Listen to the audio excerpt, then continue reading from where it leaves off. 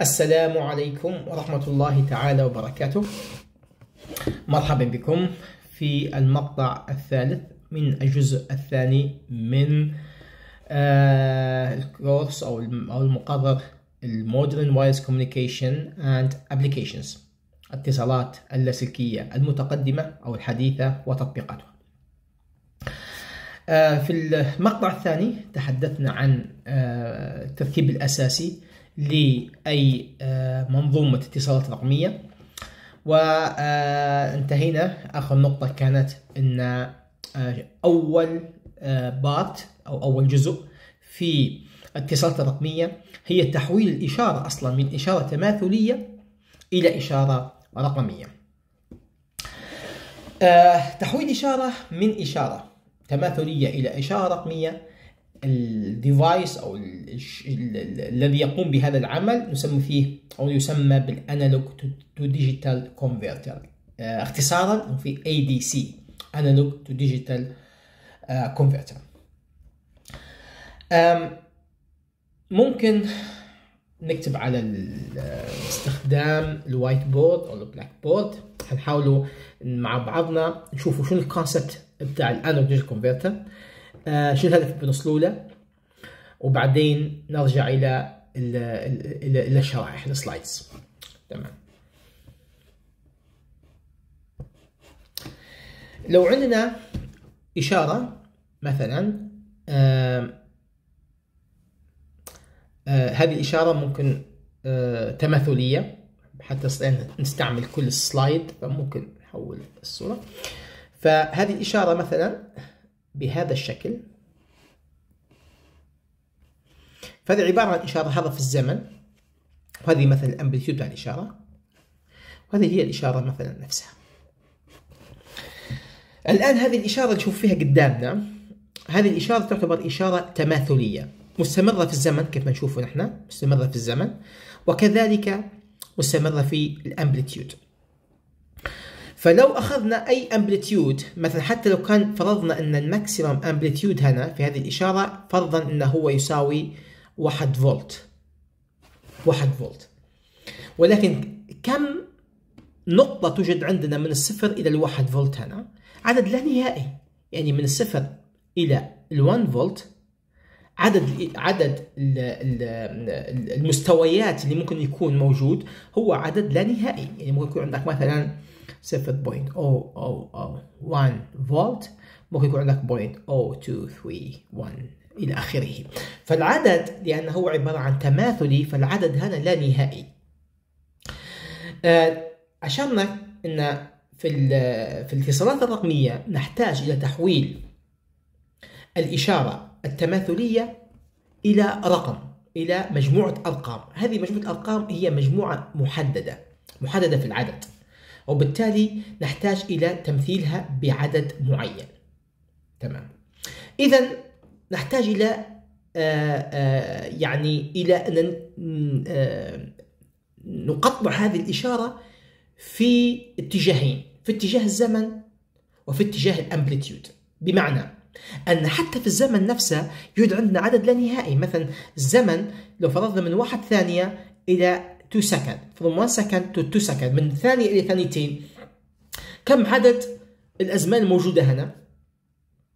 طبعا من ناحية نظرية على الأقل عندنا عدد لا نهائي. يعني مثلا ممكن نقسموها إلى أقسام مثلا بال بال بال آه، بال femtosecond يعني 10 ناقص 15 ممكن 10 ناقص 9 بال nanosecond بال 10 ناقص 9 معناها في عندي مليار point ما بين الواحد والتسعة بين الواحد واثنين.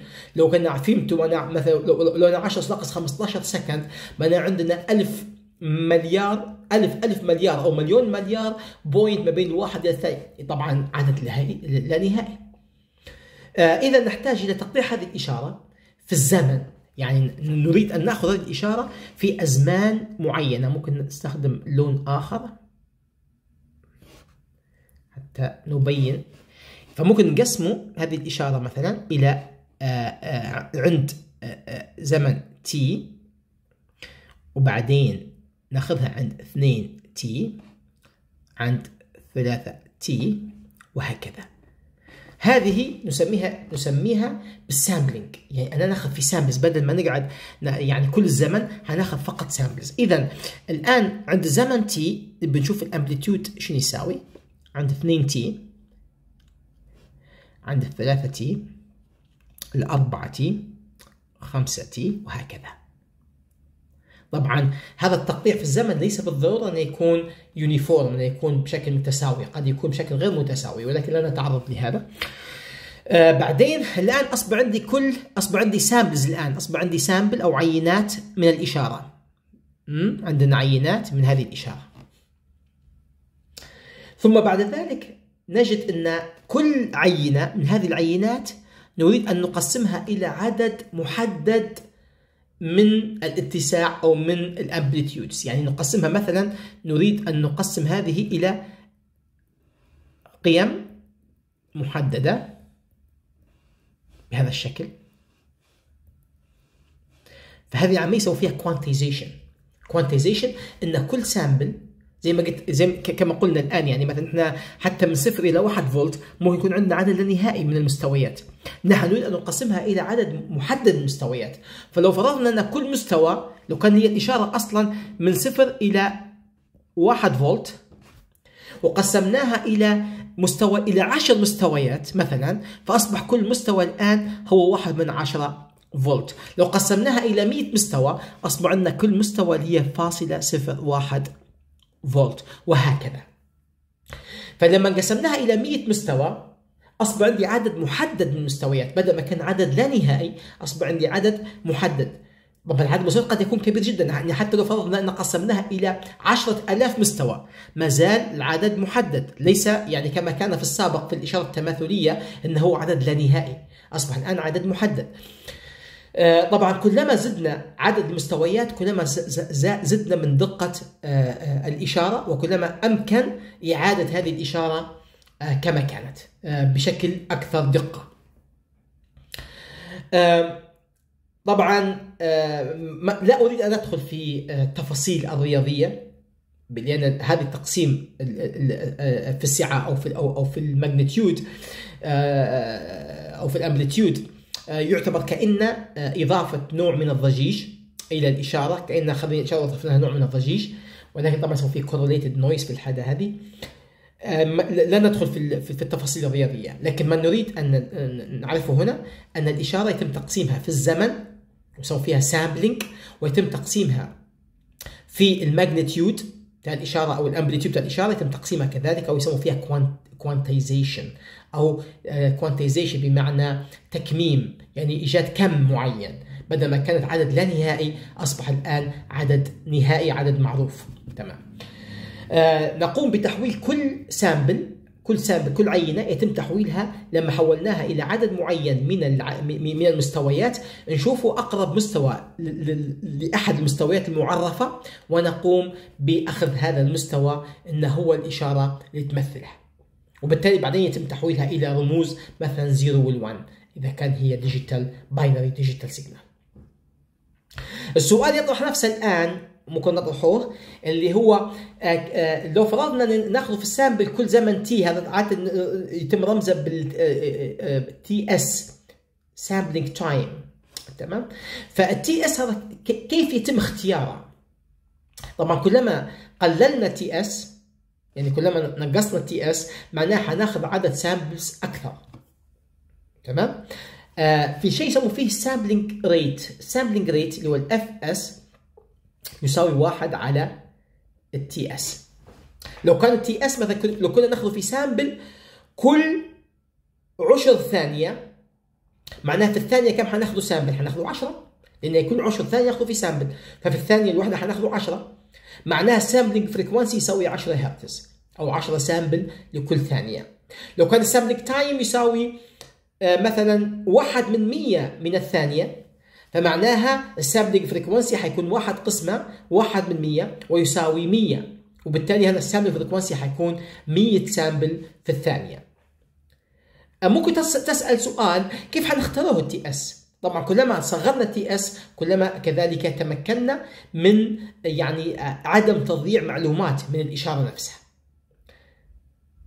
فالطريقة التي يعني وبدون ما ندخل في التفاصيل ولكن حنجوها بعدين في أحد الشرائح إن وجدوا أن ال sampling frequency أو أو تردد أخذ العينات يجب أن يكون أكبر من أو يساوي ضعف أكبر تردد في الإشارة. يعني لو كان عندك إشارة أكبر تردد فيها أو الطيف الترددي إذا كان إشارة يعني low band signal فأكبر تردد فيها في هذه الإشارة مثلا اللي هو نقوله مثلا يساوي 1 كيلو هرتز هذا أكبر تردد في الإشارة 1 كيلو هرتز 1000 هرتز. فال sampling frequency على الأقل يكون 2000 sample في الثانية. على الأقل يكون 2000 sample في الثانية. لو كان الإشارة تساوي مثلا 1 ميجا هرتز أكبر تردد في الإشارة هو مليون هرتز فال sampling frequency يجب أن يكون أعلى من 2 ميجا هرتز أو مليونين sample في الثانية الواحدة. بمعنى شو معناها هي 1 ميجا هرتز لما نقول إشارة عندها 1 ميجا هرتز معناها إن أكبر أو أكثر تغير في الإشارة ممكن يكون يحدث خلال زمن مقداره 1 micro second 1 micro second. لأن 1 قسمه 1 ميكرو يعطينا 1 mega.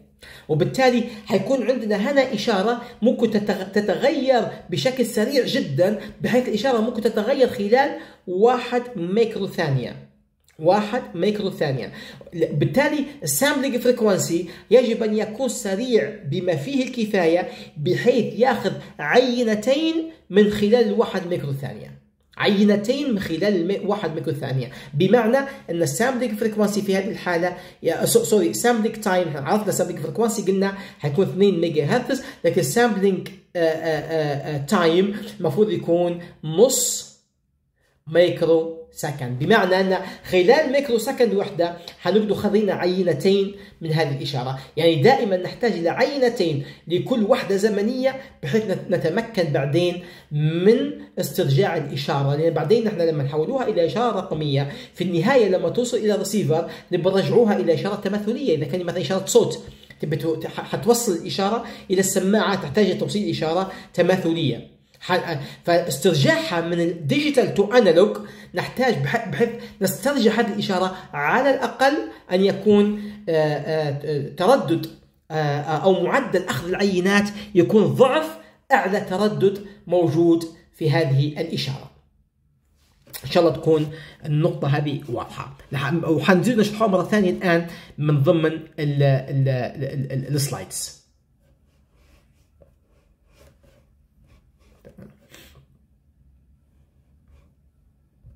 نحاول نلغوها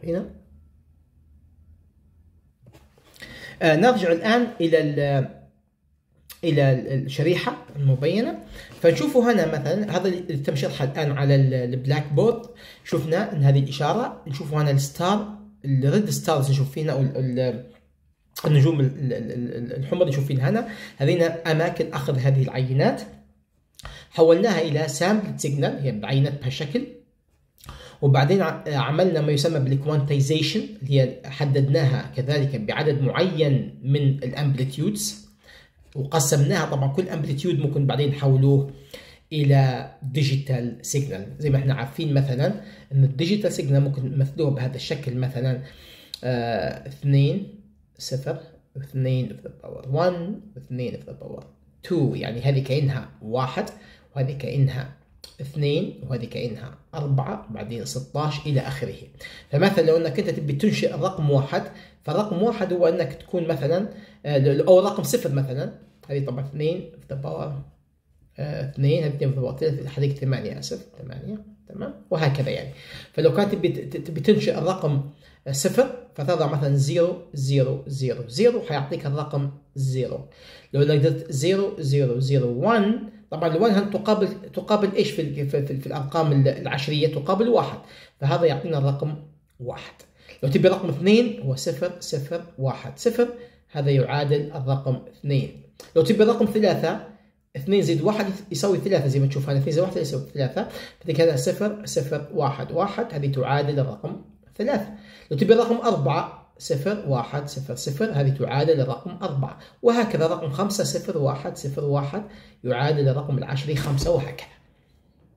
فيمكن ان نمثلوا أي رقم عشري ممكن نمثلوه باستخدام 0 وال1 اللي هو كما اشرنا binary system النظام الثنائي. النظام الثنائي واللي اعتقد أن كثير منكم مر عليه في خلال دراسته الآن آه، حولنا هذه الإشارة من إشارة عشرية إلى إشارة رقمية كما نشوفه من الصفر صفر صفر صفر إلى ون ون افترضنا أن إحنا قسمناها إلى ثمان مستويات. يبدأ من من من المستوى الصفر إلى المستوى السابع.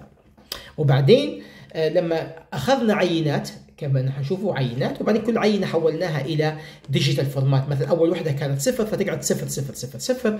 ثاني وحدة كانت تشوفها أنت هي عبارة قربت إلى الأربعة فأصبحت zero zero 1 1 يعادل 4 اللي بعدها كانت 5 آه، فالخمسة هي عبارة عن 1 1 0 وهكذا. ممكن إحنا نستطيع أن إحنا نحول الإشارة. من هذه الإشارة اللي كانت عبارة عن إشارة تماثلية وصلنا إلى أخيرا إلى الإشارة الرقمية. الآن عبارة عن إشارة رقمية. كم كيف ما قلنا إن إحنا ال zero وال one هذا فقط تمثيل لرمزين رمز صفر ورمز واحد وفي ال binary system. ممكن يكون أي عدد من الرموز كيف ما حنشوف إن شاء الله. كيف يتم أخذ هذه العينات؟ طبعا واحدة من الطرق يسمى فيها sampling and hold process اللي هي أخذ العينات وتثبيتها. فنشوفوا هنا عندنا operation amplifier مثلا عندك ال analog input يتم آه، طبعا لما يكون عندنا clock لما يكون عندنا on هنا آه، هذا واضح إن عندنا buffer ال op amp هذا operation amplifier يستخدم ك buffer. buffer بمعنى عازل من ال input إلى ال output حيكون عازل حيكون عنده input impedance theoretically على الأقل أو نظريا لا نهائية وال output impedance تقريبا zero فهنا لما آه، يعني ما فيش عندنا loading ما بين ال input وال output وبالتالي هي مفصولة. فلما يكون عندنا ال analog input يتم تطبيق ال analog input على حسب ال clock طبعا. فلما ال clock هنا تكون 1 فنسمح الإشارة اللي موجودة هنا بحيث تنتقل إلى الجزء الثاني. في الجزء الثاني يتم شحن آه، المكثف. فيتم شحن المكثف إلى نقطة معينة وبعدين لما يتم فصل ال clock طبعا نفسه عندنا another operation amplifier or another buffer here إنه هو يفصل ال input impedance is infinity معناه ما عنديش أي تفريغ من المكثف طبعا نحكم بشكل نظري فقط يعني.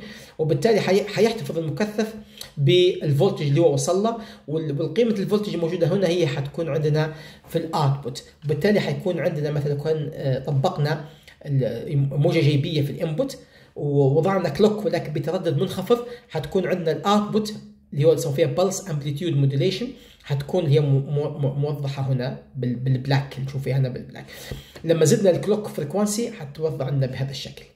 ولكن تذكر إن هذه ما زالت ما هيش digital هذه عبارة عن sampled signal يعني هنا ال digital ما تكونش sampled بس في ال time ال digital تكون sampled في ال time وكذلك quantized في ال amplitude هنا الاثنين. كيف يتم الحصول على على ال digital signal؟ آه، آه، أبسط طريقة وأرخص طريقة للحصول على ال digital signal هي تسمى بال ramp technique اللي هي عبارة بكل بساطة نشرحوها بشكل سريع. إن عندك ال input هنا ال signal اللي هي مثلا عبارة عن زي ما قلنا إشارة تماثلية. لو فرضنا إن هي موجودة هنا هذه اللحظة بال V input عند هذه اللحظة تمام؟ فنفترض آه، آه، في البداية أن ال digital to analog converter أو أن ال counter اللي موجود عندنا هنا كله كله أصفار كله zero. ال output كله zeros تمام؟ فلما طبقنا ال zeros هنا على ال digital to analog converter ال output لأنه هو كله zero فال output كذلك حيكون zero. ال output حيكون zero وعندنا V input هنا له قيمة. شوفوا V هنا عندها قيمة is not zero مثلا مثلا 5 فولت ولا 4 فولت. فال 4 فولت هنا أكبر من الصفر. فماذا سيحدث ال output هذا ال comparator المقارن؟ هيعطينا هنا 1 logic 1 طبعا ممكن فولت يعطي 5 فولت مثلا.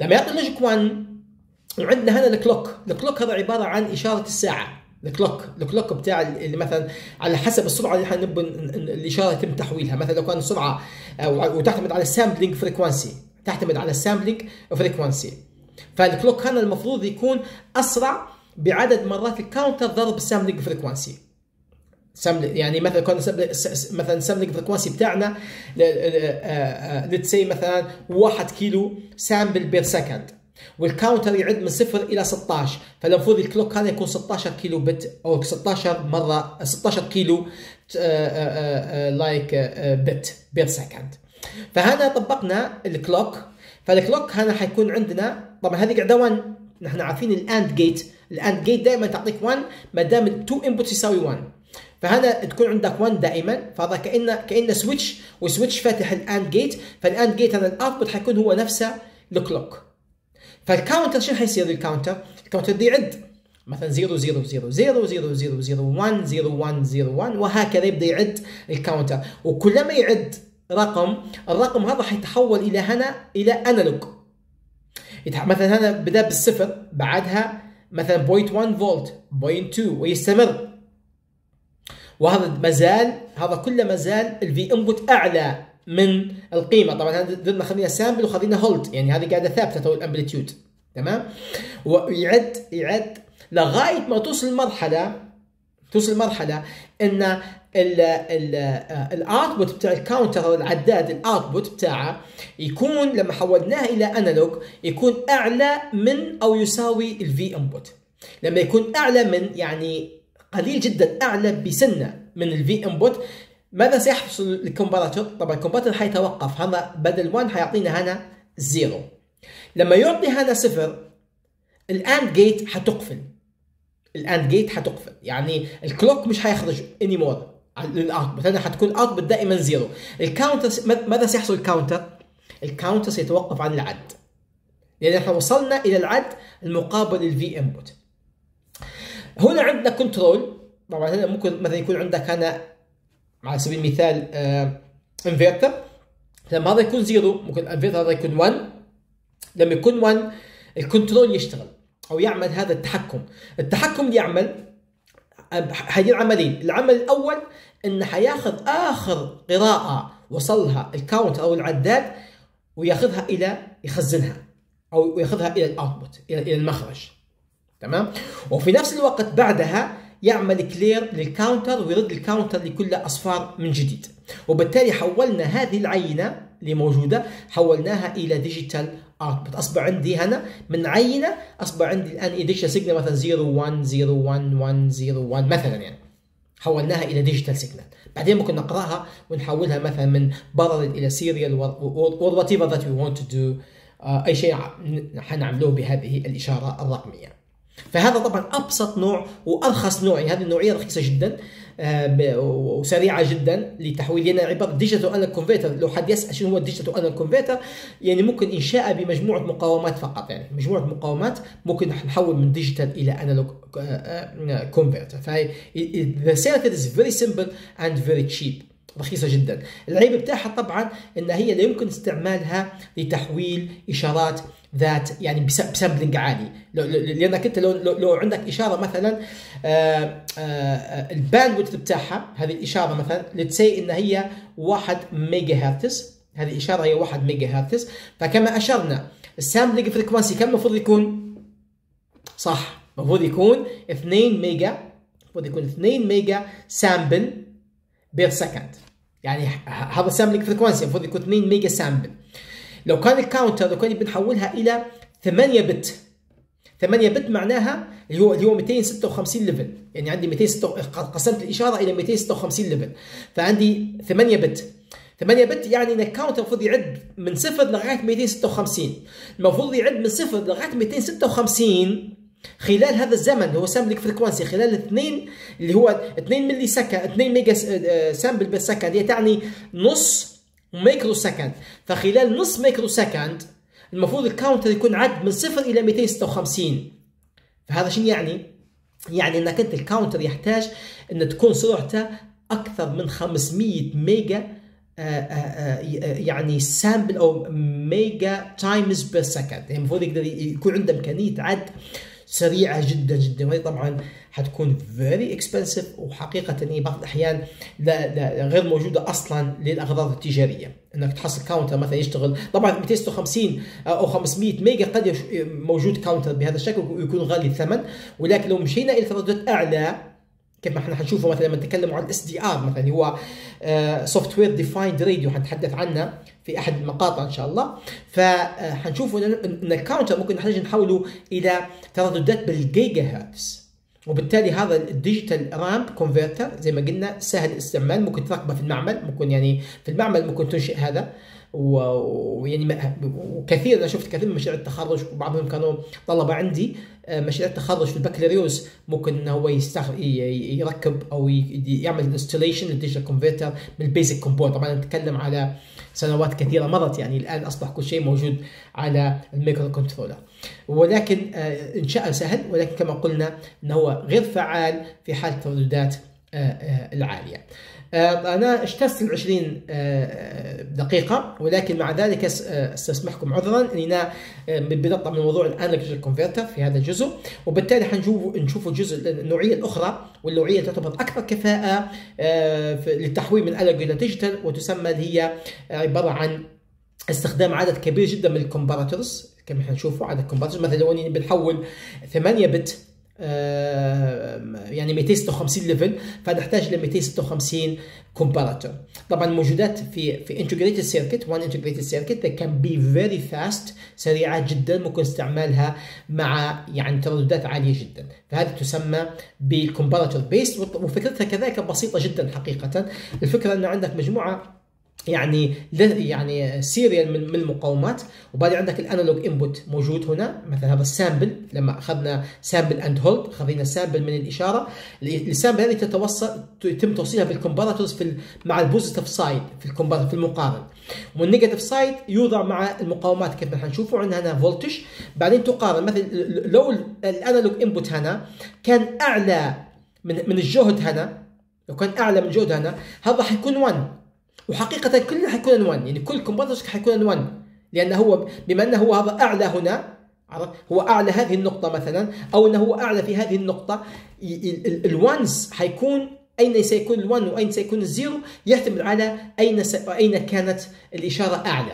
فلو كان الإشارة مثلا ال V هنا في هذه النقطة كانت أعلى من ال analog فحتكون بالتأكيد إذا كان هي أعلى حتكون أعلى من من من بقية النق- النقاط اللي حتكون بعدها لأن هذه أقل نقطة فيه. فإذا كان هذه النقطة هي أعلى من بقية فالبقية كلها حتكون أعلى من ال analog input و otherwise إذا كان مثلا هذه أقل فحتكون هنا عندك صفر ولكن النقطة هذه قد تكون 1 ف zero وال1 يعتمد على يعتمد على ال voltage distribution هنا اللي هي هي هي تعادل المستويات. وال comparators هنا هي حتعطينا 1 و0 على حسب آه، قيمة هذا ال- ال- ال sample اللي اللي أخذناه. وبعدين عندنا ال digital encoder أو ال encoder logic هو يحول من هذه ال1 وال zero حسب ال comparators إلى ال digital output ال sampling process طبعا تحدثنا عنها وقلنا already قلنا إن ال sampling frequency يجب أن يكون أعلى من ضعف أعلى تردد موجود في الإشارة. لا أريد أن يعني آه، أتعمق في هذا في هذا الجزء. المهم تتذكر هذا الجزء ان لأن الإشارة نفسها لو كان هي لو كان هي أقل من ضعف الإشارة حيحصل aliasing ويسمى هنا بال aliasing distortion إن ال bandwidth بتاع الإشارة الأصلية سيتداخل مع بعضها ويستحيل بعدها إلا يعني في حالات خاصة جدا آه، استقبال الإشارة الأصلية أو رجوع أو إرجاع الإشارة الأصلية. بينما إذا كان هي ال sampling frequency أعلى من ضعف أعلى تردد موجود في الإشارة بالإمكان دائما استرجاع الإشارة الأصلية وهذا ما يسمى بال sampling sampling theorem شوفوا في هذا ال figure مثلا الإشارة كيف أخذنا منها عينات وبعدين قسمناها إلى ثمان مستويات. وبعدين قربنا كل مستوى. مثلا الإشارة هذه أقرب إلى الواحد فقربناها للواحد. هذه الإشارة أقرب إلى ستة فقربناها هنا للستة. هذه الإشارة أقرب إلى الثلاثة فقربناها إلى الثلاثة لأن لابد نعملها quantization عملية آه، آه، يعني تكميم لهذه الإشارة بحيث تكون عدد محدد جدا من ال amplitudes المستخدمة. وبعدين حولنا هذه الإشارة إلى إشارة إلى إشارة رقمية. هذا في بعض ال- ال- الأمثلة اللي وضعت آه، ممكن تجدوها على ال- ال- ال- ال- الشرائح عندكم ممكن تشوفوا بعض الأمثلة البسيطة جدا في عملية ال sampling نتوقف هنا إن شاء الله تعالى والموضوع القادم سيكون عن آه، كيفية اختي- اختيار عدد. العدد ال quantization أو عدد ال levels بحيث نحافظ على كفاءة معينة للإشارة. نراكم إن شاء الله السلام عليكم.